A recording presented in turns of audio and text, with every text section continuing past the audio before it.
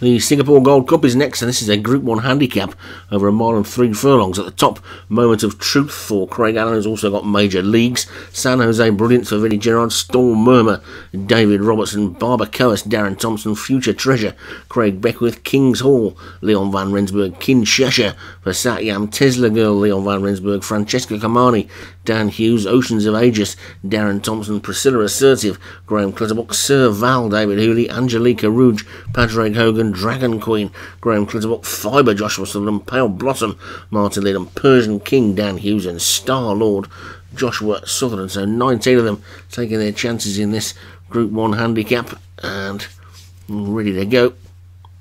And away they go. And who's going to be the first one to break the line and get into the lead. It looks like San Jose Brilliance is going to be the one that's going to try and take it one or two of these wide on the track. Will do well to try and cut into the rail. They'll be losing a lot of ground if they stay too wide. The one that's struggling at the back already is Dragon Queen, a good two lengths off the rest of them. But San Jose Brilliance has got the lead from Kinshasa, a normal front runner in second. Then Sir Val Pale Blossom, the first of the greys, is next. Then Francesca Kamani, the second grey. After that is Pale is uh, King's Hall, Future Treasure, and Persian King are next. Looking over on the far side, you can see one or two have been caught quite wide there. Persian King, I think, maybe one of them, and the Leon Van Rensburg horse is also quite wide. But it's San Jose Brilliance that's got the lead by two lengths to Kinshasa in second. Serval is in third. Then Francesca Camino the Grey is next with Oceans of Ages just on that one's inside. Major Leagues has got a nice run at the inside rail. Pale Blossom on the outside of Future Treasure. Then Tesla Girl, Storm Murmur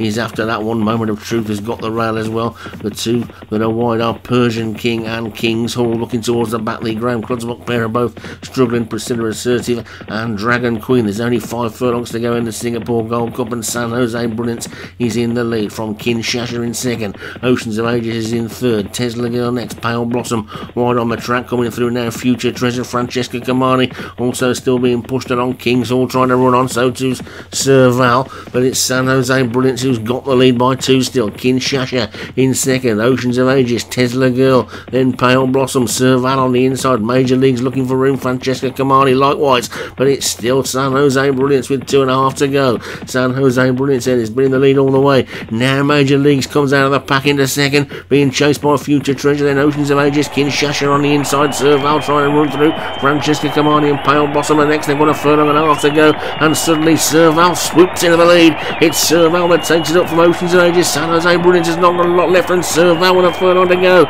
Sir Val is pulling away now. Oceans of Ages trying to go with it, but Sir Val, they've got no answers to this one. Sir Val has absolutely walked it, and up towards the line, Sir Val takes it. Oceans of Ages second, Kinshasa just down on the third from Fibre, then Dragon Queen and San Jose Brilliance. One or two of them didn't get into that race at all today, like Barber Coas, who's normally up there with a chance, and that one was right out of the back.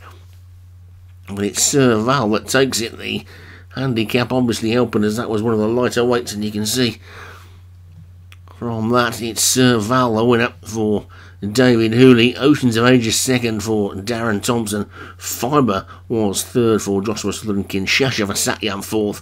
And San Jose Brilliance for Vinnie Gerard, the long-time leader, was fifth.